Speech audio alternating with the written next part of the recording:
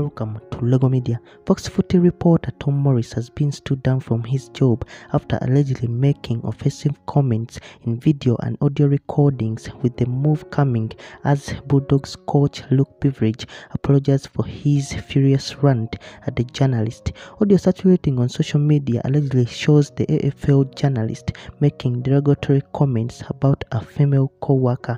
Another video clip allegedly shows him making a series of racist homophobic and sexist comments. A Fox Sports spokesperson said Fox Sports has stood down a reporter pending an investigation regarding an inappropriate audio recording.